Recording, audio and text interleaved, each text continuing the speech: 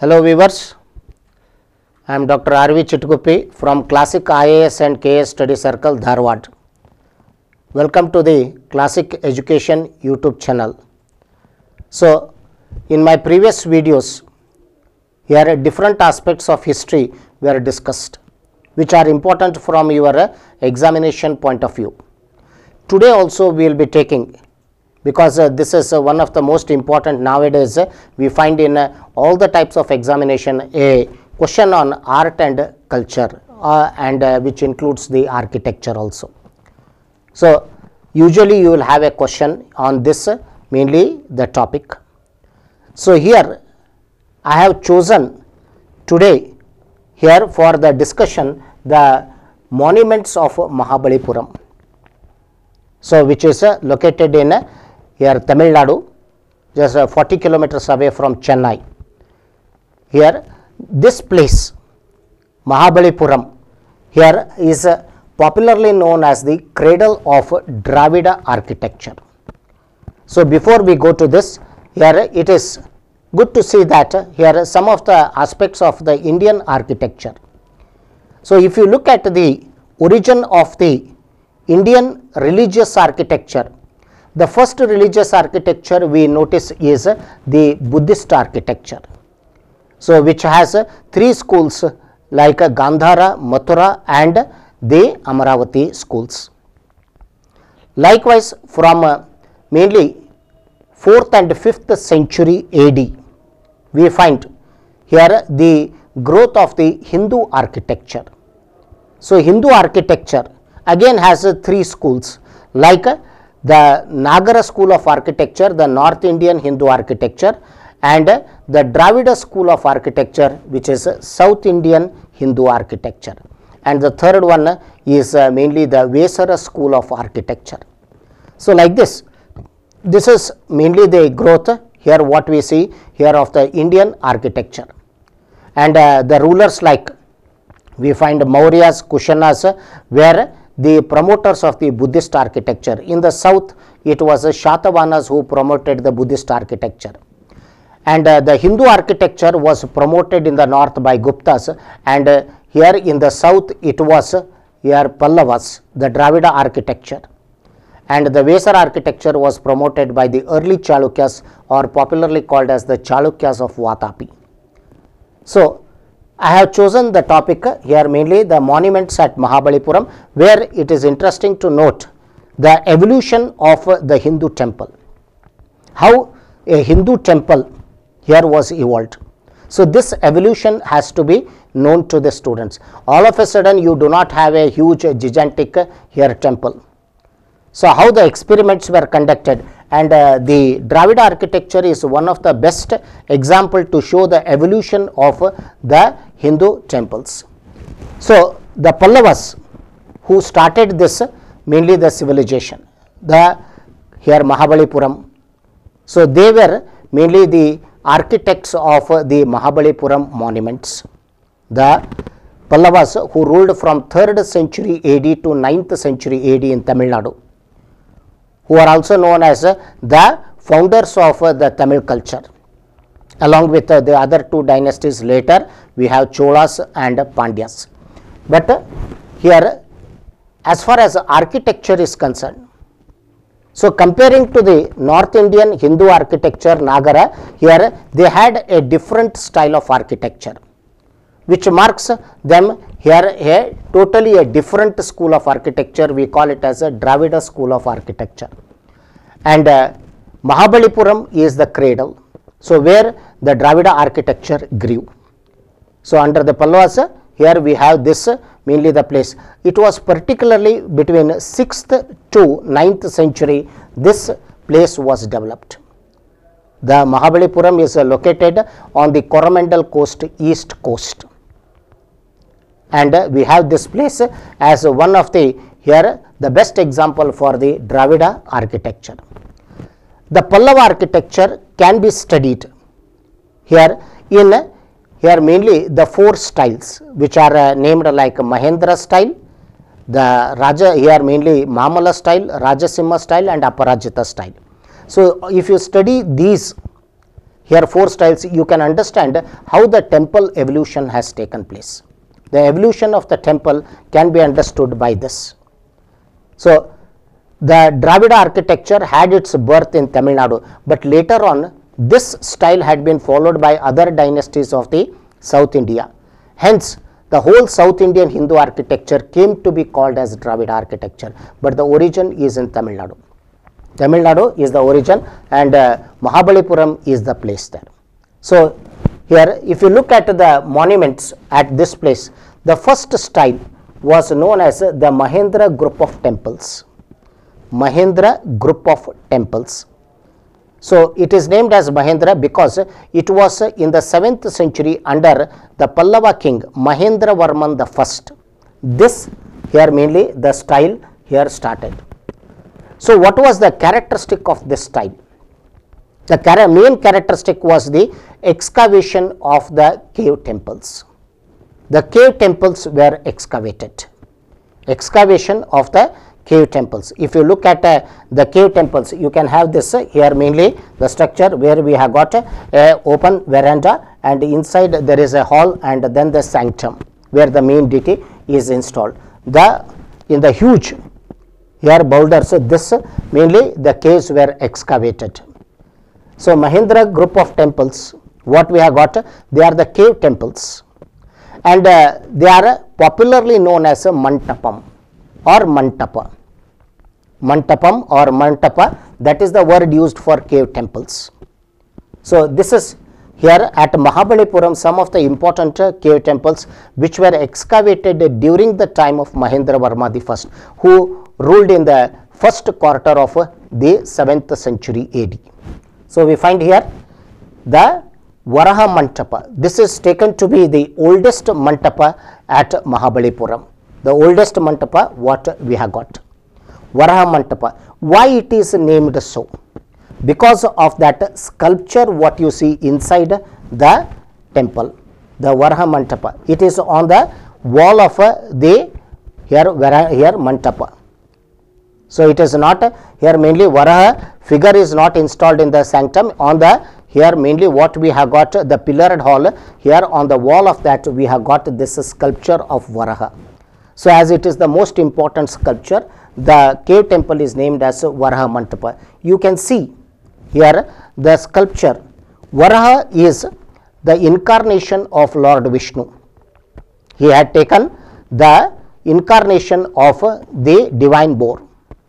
So, totally there are 10 incarnations of Vishnu. This is the third here incarnation as we have Matsya Kurma Varaha. And the purpose for this, why he took this incarnation was to save the goddess earth.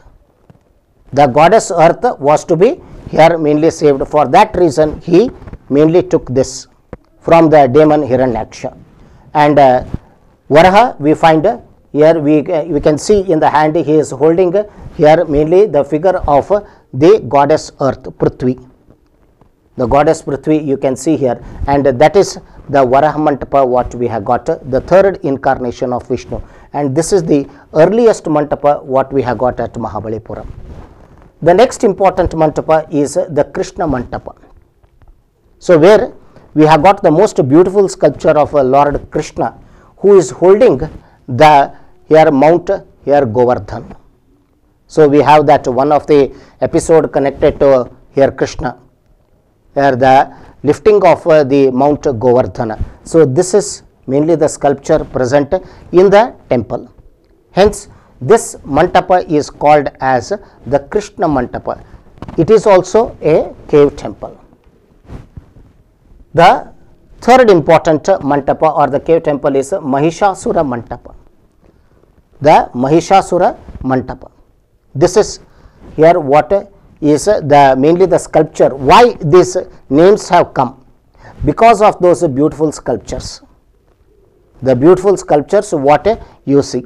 So, this is here what we see mainly Mahishasura is being here killed by mainly here the Mahisha. The Mahishasura you can say Mahisha means the buffalo. You can see the face of the buffalo there and it is goddess Durga who slain here Mahishasura. So, uh, Durga is uh, known, this uh, mainly incident is referred uh, here in uh, different uh, here places of India with different names. So, but it is goddess Durga who is popularly here associated with this Mahishasura Mardhani. So, it is the slaying of Mahishasura. Mahishasura is that is the buffalo face. You can see the buffalo face and the goddess here Durga who, who is seated on a lion as it is uh, Durga's vehicle lion. She is seated on the lion and you can see she- there is a, a here war between these two and uh, she is uh, mainly here getting ready to kill here mainly Mahishasura the demon. So, this is mainly here the Mahishasura Mantapa which is also a here cave temple. And uh, this is one of the temple, it is actually a Vishnu temple but popularly called as a tiger Mantapa because what we see at the entrance of the cave, you can see the here tiger sculptures. Hence, this is called as a tiger Mantapa, actually it is a Vishnu Mantapa there. So, these are the early here cave temples. So, the first thing what we can say in the evolution of the Hindu temple is first cave temples were excavated. Immediately we do not have structural temples. So, cave temples were excavated initially. So, usually the here model for these cave temples is uh, the Buddhist Chaityagriha. Like uh, the Buddhist Chaityagrihas, we have our cave temples. So, the first one here in the Dravida style is a Mahendra style here which uh, marks the feature of the excavation of the cave temples. Moving to the second style, it is the Mamala style or the Mamala group of temples. So, Mamala was the title Maha Malla or Maha Mamala. This was the title of uh, the successor of Mahendra Varma the first, here King Narsimha Varma the first. So, it was uh, mainly under Narsimha Varma the first at Mahabalipuram. We have got uh, another group of temples which is named after his title here as the Mamala style. So, the Mamala style most important feature what you can say is the rock cut monolithic temples. The rock cut monolithic temples are most famous here in Mahabalipuram. So, totally we have got if you look at here mainly the total group here it is uh, 10 here mainly the rock cut monolithic temples, but usually here the very popular are mainly the seven monolithic temples. They are called as the seven rathas. That is the word used for monolithic temple, the ratha. Ratha is the word used for the monolithic temples. They are carved out of a single rock. That is a monolithic. So, from cave temples, we are moving to the next stage. From the huge rock, a monolithic temple is carved out. And these seven temples what we have got they are referred by the european scholars as seven pagodas the seven pagodas are located at mahabalipuram.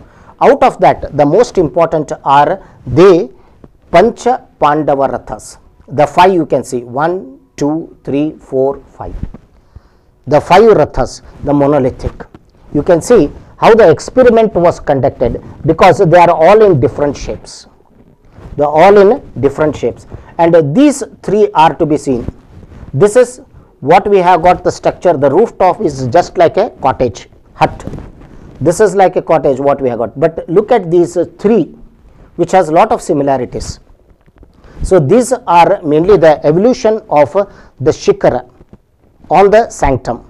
On the sanctum we have got the shikara and uh, the shape of the shikara if you look at it, it is in the pyramidical shape. So, this became the architectural feature of the Dravida here temples, the pyramidical shape.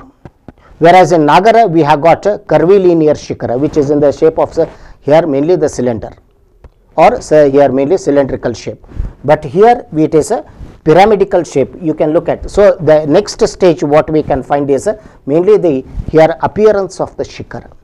From cave temples here we can see these are the new things what we can notice, the new features. And uh, here inside the temple we have got uh, here three components. So, one is a Mukhamantapa, then Navaranga, then the sanctum. Usually we have got uh, three parts. So, these five temples are named as uh, Pancha Pandava Rathas. But uh, don't be under the impression that uh, they are mainly dedicated to the Pandavas. Just it is a terminology that has been used as Pancha Pandava Rathas. So, this is very popular word that has been used. In that the first one is uh, Dharmaraja Ratha. This is uh, one of the here the first here monument and you can see here mainly that uh, Shikara which is uh, very evident from that Dharmaraja Shikara. So, this is uh, mainly the first Ratha. The second one is Bhima Ratha. The Bhima Ratha which is uh, in a rectangular shape or you can say apsidal plan. It has uh, got an apsidal plan. So, in a rectangular shape this monument you can notice and uh, if you see that uh, here it is uh, mainly here the attempt was made to bring the Shikara. An attempt was made to bring the Shikara here but it was in the next temple we can see those uh, here the appearance. So, this is uh, Arjuna Ratha. So, they are named after those uh, Pancha Pandavas. Arjuna Ratha what we have got at Mahabalipuram. Nakula Sahadeva Ratha together they are named as a Nakula Sahadeva Ratha.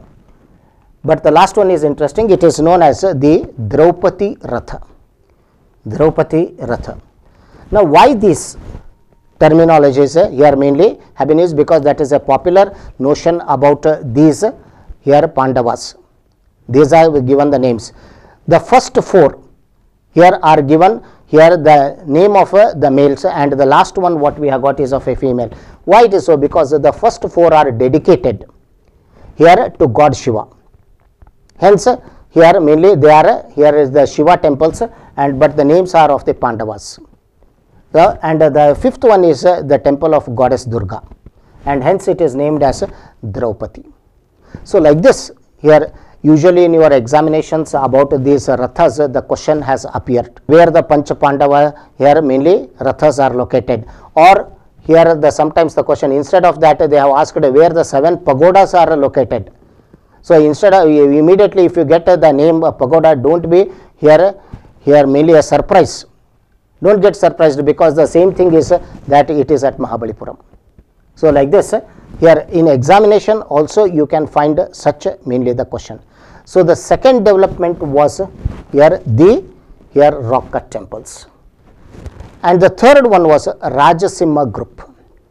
Rajasimha group is the third group of temples and this is the structural temple. Now, we are coming to the structural temple. The structural temple which was started in the 8th century AD. So, under Pallavas 8th century we find the structural temples started the construction.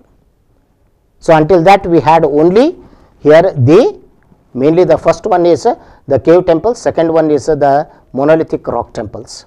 But the third one group we get from the 8th century here we find the structural temples. So, the here mainly the temples were built here stage wise. So, if you look at uh, one of the difference between Mamala style and uh, the Rajasimha style is that here the rock cut monolithic temples are carved from the top to bottom whereas here the structural temples are built from here bottom to top. So, that is what we have the differences here mainly in this here the temple construction. The new here style we can and uh, easily you can see now the height of even Shikara has been increased. Earlier you have noticed that Shikara were very here mainly small or the height was very less. But now you can have the enhanced Shikara, the height of the Shikara was increased. So, this is here mainly what we have got the shore temple. It is called as a shore temple as it is located on the seashore of Bay of Bengal. It is known as a shore temple, but it is a Shiva temple. This is what clearly you can see. It is located on the seashore, the temple. So, popularly known as the shore temple or it is dedicated to Lord Shiva. This is the construction where it started. But uh, one of the outstanding example of the Pallava architecture of Rajasimha style is located in their capital Kanchipuram or Kanchi. where we have got here the Kailasanatha temple, the Kailasanatha temple of Kanchipuram, the famous temple of the Pallavas. So, which was built under here the king Narasimha Varma II. So, both shore temple, this was an experiment. Narasimha Varma II, Rajasimha, that word comes from his title. It was the title of Rajasimha, here Narasimha Varma II. This was an experiment of structural temple at Mahabalipuram. And uh, the here next it was at Kanchi. They got constructed uh, here that huge temple, Kailasanatha temple, which has been called as the model temple in Dravida architecture. Because uh, that architecture of uh, Kailasanatha temple at Kanchipuram has been adopted by other dynasties in South India. Hence, it is called as a, a model monument. Yeah, the, uh, the mainly what we have got at Kailasanatha. It is also Rajasimha style structural temple and the most famous temple of uh, the Pallavas. So, shore temple experiment I was telling you was made here. So, all the three evolution of the temple, cave temple, monolithic temple and structural temple all evolved at mainly Mahabalipuram. Hence, Mahabalipuram came to be called as the cradle of the Dravida architecture. Earlier I had mentioned in my title that it is the cradle of Dravida architecture. Why we say? Because all the three styles experiment was done here first. The experiment was uh, done here first. This is uh, what we have got the shore temple. And another very interesting aspect at Mahabalipuram is uh, the bas relief sculpture. The bas relief sculpture what we have got. Mainly, this is considered to be one of the biggest bas relief of the world. This is a, the biggest bas relief sculpture what on a huge rock we come across this sculpture. Popularly, the scholars call this as the descent of Ganges. Descent of Ganges or there is another version this bas relief is also called as the penance of Arjuna. The penance of Arjuna. Now you can see these particularly here the sculpture. You have got the elephant, you have got uh, here the tiger, the mainly the deers and we have got uh, the semi gods and the gods uh, here apsaras and a jungle here atmosphere we have got a serpent. So we have got this uh, mainly here. But the most important thing what you have to notice is this figure where on one leg raising his two hands he is uh, mainly doing the penance. So, both a version can be adopted. Now, if you look at the descent of the Ganges, if I say it as a descent of Ganges, as you know that uh, the river Ganga was brought down to earth by here King Bhagiratha. So, he performed a penance here to bring this Ganges to the earth. So, popularly it is also known as the penance of Bhagiratha or the descent of Ganges, how here Ganges river came to earth. This is the figure what you have to notice, the most important figure. Or another version as I mentioned it uh, mainly as a Arjuna penance. Arjuna also performed the penance here praying to Lord Shiva to obtain the divine weapon of uh, Pashupatastra. So, that was uh, his mainly the intention. He did the penance for here mainly to obtain that divine weapon from Lord Shiva. So, that penance was being performed here and uh, later that is a very here uh, the famous incident we have got uh, in our uh, mainly the mythology. We find uh, there is a conflict between Arjuna and Lord Shiva who comes in the form of a Kirataka hunter to test the bravery, the valor of Arjuna. And uh, this is one of the here episode here in our Mahabharata which has become here the source for the writing of the books and one of the very famous book written on this incident is of Bharavi. Bharavi Kiratarjuna in Sanskrit. That incident is related to Arjuna. So, where the conflict takes and Shiva was very much pleased with the valor of Arjuna and he here granted that Pashupatastra. So, this is at Mahabalipuram you have got the descent of the Ganges or the penance of Arjuna. So, that is a version which is also given there. So, Mahabalipuram what we have got is mainly known for these monuments. And uh, if you look at the Pallava architecture, there is another style at the last called as the Dravida. Here mainly in Dravida architecture, we call it as Aparajita style. Aparajita structural temples are there, but uh, new components were added to the temple like the Gopura, the Prakara, the Pushkarani or Kalyani. So, these additions were made in Aparajita. Aparajita is the title of King Nandivarma. So, during his time, these additions were made to the structural temples or Rajasimha temples. So, today if you look at the Kailasanatha temple, what we have got at uh, mainly Kanchi, you can see all these features. So, it is uh, originally Rajasimha style, but uh, today you can find a Gopura is there, the Pushkarani is there. So, it is here renovation has taken place later, additions have been made to this temple there. So, that is here the fourth style in Dravida architecture or Pallava architecture, Aparajita, which is the title of uh, Nandivarma. However, to conclude about Mahabalipuram. So, Mahabalipuram here these monuments show the evolution of a Hindu temple very easily. This cannot be studied in a Nagara architecture. In Nagara architecture you cannot study here the evolution here. So, but here the evolution can be studied very systematically if one goes through this Dravida architecture. Here and uh, mainly this site Mahabalipuram group of temples or the Mahabalipuram group of monuments what is uh, here today known as uh, the UNESCO recognized World Heritage Site. It is a UNESCO recognized World Heritage Site. So, like on art and culture you will be having a lot of questions in your examination. So, in my previous class also I have discussed uh, some of the here mainly the aspects of the Buddhist architecture and uh, now it is uh, one of the here part where I have discussed about uh, here the the South Indian Dravida architecture taking uh, the birthplace of Dravida architecture that is Mahabalipuram monuments. so, to keep up this information which can be useful for your preparation on the topic art and culture because a lot of questions are coming in different examination on this topic. So, in our next session we will move to another very interesting aspect about history. Do join us next time. Thank you.